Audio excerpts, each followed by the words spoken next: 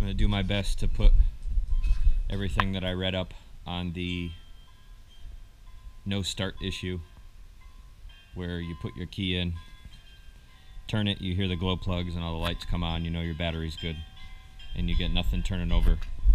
Uh, it's a Kubota BX2350. Um, a lot of other tractors are similar to this one. This particular model is a 2008 and it's the D model because it came with the deck sitting over there. Anywho, um, first thing I'm going to do is go through where all the safety sensors are, as you were, the safety uh, switches. That ended up being my problem. I'll explain it a little more later. The wire you see right here goes to a little plunger switch that's very hard to see under this. So when you sit, presses the switch down. That's one of your safety switches. Another one is right here. This is another seat safety switch. I'll show you when I put the seat down, but it's up here. This switch right here was my problem and somehow I missed it and I did a whole bunch of wasting time. This is your PTO safety switch that you can also see but you can also see it right here there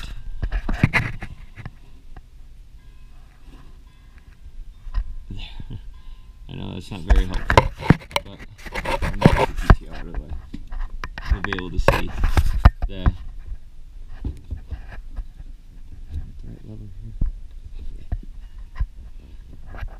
You can see the PTO has a little this is so hard with the camera got this little bracket right here that comes up and touches the switch.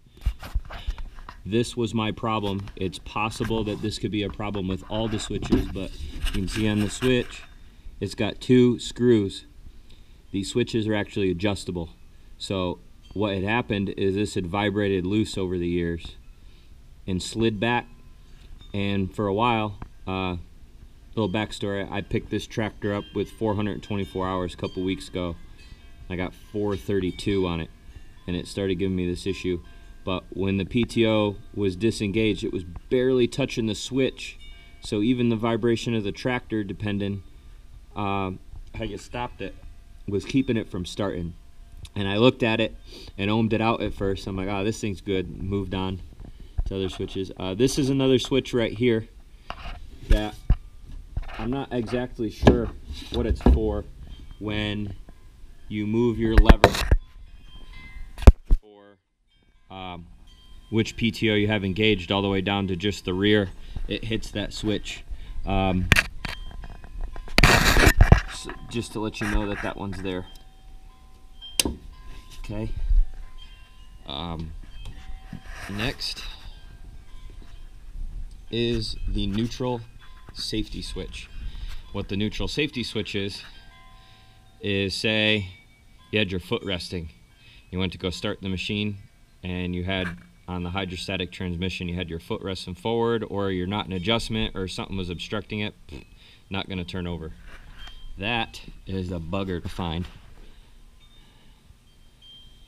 This gray, try to use my camera this gray right here. Um, the plunger to the switch is currently being pressed. I actually get in there pretty good. You can see the bar. Uh, do darndest here to hold the camera and hit. See how that's forward? Just let the switch come out. Reverse, let the switch come out. Um, this switch was not my problem, but it was the first one I went at because it was the same thing. It wasn't that tight and it was slid backwards so the bar was barely touching the switch. Turned out that was not the problem with the switch but there it is if you need to replace it uh, you could pull it out and bypass it it's a bugger to get at um, I think the service manual says to remove your right hand right rear tire just so it's easier to get at um, you can sort of access it from under the seat. I'll lift this up again. Where's the wire? Uh, I don't know if you're going to be able to see it. But that little wire lead right there. Get my finger in there and hold on the camera at the same time. But right in, right in that area is where the connector is. You can unscrew it and pull it up this way, but it's a bitch to put back in because, like I was saying, there's sort of a slot for all, most of these switches and for it to adjust back and forth. And instead of being threaded into the frame or something like that, um, it has like a little piece of sheet metal that's threaded and you have to somehow find how to get back there and hold it while you put the screw in. So I had my wife put the screw in and I was able to rig up a piece of old electrical wire to put over the sheet metal. And come under here.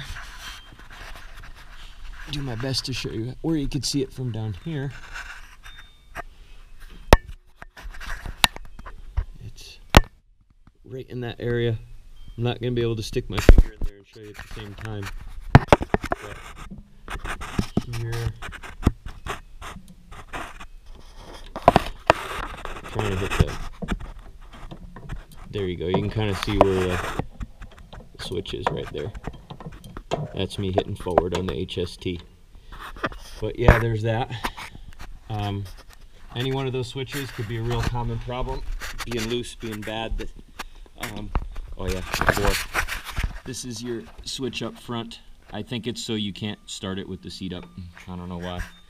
Uh, you got your fuses in here. Um, starter, if you wanted to try tapping the starter and you thought that was your problem, open up the hood and you can stick something right in between the front and the middle and that kind of, sorry for the poor lighting, but that gives you access to the starter. You could tap it a little bit. Um, last but not least, that could be a simple fix that I saw was not my problem, but in my research is you got your little safety plunger right here. Um, say you were moving forward and you get up off the seat or one of those switches triggered, it pulls this. It's either in, I think the fuel is open right now. Anywho, this pulls in and it cuts your fuel off. So what was happening to one gentleman was it was just sticky and there was a little bit of play so it wasn't opening all the way. So um, you know, this switch not being right uh, wouldn't allow it to start. Um, I'm no expert on these things. I just got this tractor a few weeks ago. Um, people have had these brand new. People have had them almost 10 years like me run into the same problem. Uh, I believe even the newer models are fairly the same as this with some ergonomic upgrades. And I don't know if they have some of that emissions crap on them but hopefully this did a decent job of trying to consolidate um, some of the common problems with not being able to start um, and sort of put it all together. The mix where I found out all this information was from a couple forums through a Google search and like an hour on YouTube going back and forth. Um, but yeah, she fires up good. I don't have my key out here, so I'm not going to start it. But uh, fired up good. Don't waste six hours like me. Hopefully you find this video and uh, you won't be stupid like me. Oh, another thing that could happen if this happened when I bought the tractor from the guy. Turn the key, nothing. No lights, no nothing. And you're like, oh, the battery's good and whatever. You got a 50 amp fuse in line that's right here behind the starter. And this is a reverse polarity. Uh, what happened was the guy accidentally touched the negative to the positive when he hooked the battery up and it blew that fuse. Um, and that's going to obviously have you dead in the water. Um, I'm sure half of the stuff I've already said in here, y'all have already found out. But, uh, yeah, cool.